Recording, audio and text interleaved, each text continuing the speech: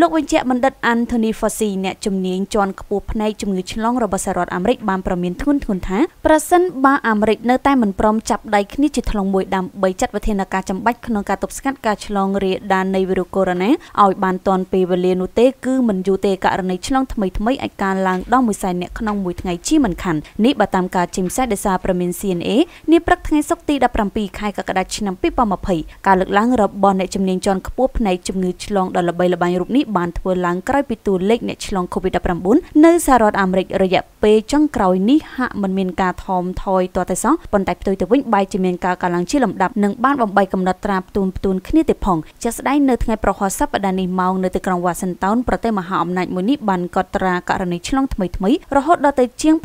75000ករណីដែលជាការបំបីកំណត់ត្រាជាលើកទី7ក្នុងខែមិថុនានេះដែលជាការបំបីកំណត់ត្រាលើកទី7ក្នុងខែនេះចំណែកឯករណីស្លាប់វិញក៏មានការកើនឡើងដូចគ្នាដែរនារយៈពេលចុងក្រោយនេះដោយអត្រាអ្នកស្លាប់ថ្មីថ្មីបានឈានដល់កម្រិតខ្ពស់បំផុតពុំធ្លាប់មានពីមុនមកទេបើរាប់ចាប់តាំងពីដើមខែមិថុនាមកបណ្ដារដ្ឋដែលរងគ្រោះធ្ងន់ធ្ងរជាងគេគេឃើញមានដូចជារដ្ឋ Arizona រដ្ឋ California រដ្ឋ Florida រដ្ឋ Texas ផងដែរទោះជាបែបនេះក្តីអ្នកនយោបាយអាមេរិកមានការខ្វែងគំនិតនិងបែកបាក់គ្នាកាន់តែខ្លាំងឡើងខ្លាំងឡើងជុំវិញការចាត់ចែងលើវិបត្តិដ៏ធំមួយនេះដោយអ្នកខ្លះបានផ្ដល់អតិភិបលើការបើកសកម្មភាពសេដ្ឋកិច្ចឡើងវិញបើទោះបីជាស្ថានភាព COVID-19 នៅក្នុងប្រទេសបន្តស្ថិតនៅក្នុងភាពក្តៅកគុកក៏ដោយចំណែកឯនៅម្ខាងទៀតបានផ្ដល់អតិភិបលើសុខុមាលភាពជាចម្បងដោយបានជំរុញឲ្យអាជ្ញាធរបន្តចាត់វិធានការក្តៅដើម្បីទប់ស្កាត់ជំងឺដ៏កាចសាហាវមួយនេះគូជំរាបថាសហរដ្ឋអាមេរិកដែលមានអ្នកឆ្លងនិងស្លាប់ច្រើនជាងគេបំផុតនៅលើលោកបច្ចុប្បន្ននេះមានករណីឆ្លងសរុបជាង3.6លានករណីក្នុងស្លាប់ជាង14ម៉ឺននាក់និងជាសះស្បើយជាង